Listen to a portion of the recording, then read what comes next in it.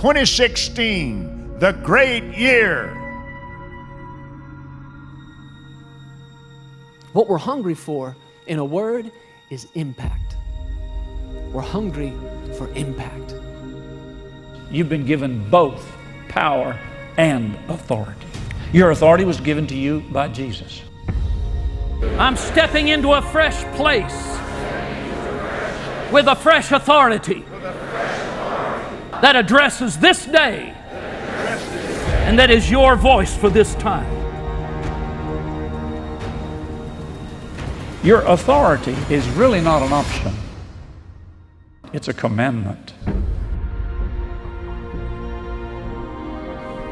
We understand it is for this day and this hour to stand out, to step up, to declare the truth, and to rely on the Holy Spirit of God and the love of Jesus to do the work. This is the greatest year of your life now. This is not going to be the greatest year. This is the greatest year of your life now. This is the greatest year of your life financially. This is the greatest year of your life where health is concerned. This is the greatest year of your life for your marriage, for your children, for your ministry. This is the greatest year of your life. It's going to be a moed. It's going to be a turning point. We're all going to go up from here.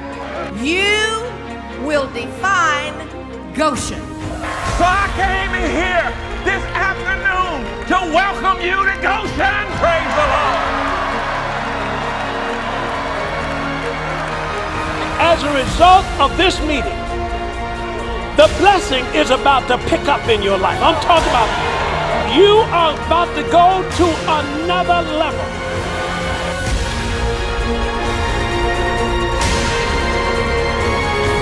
From this day, I decree not only the blessing, but the fullness of the blessing.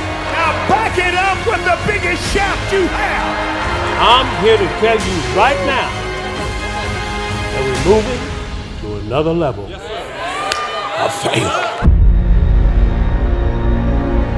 If you can believe it in 2016, you can have it.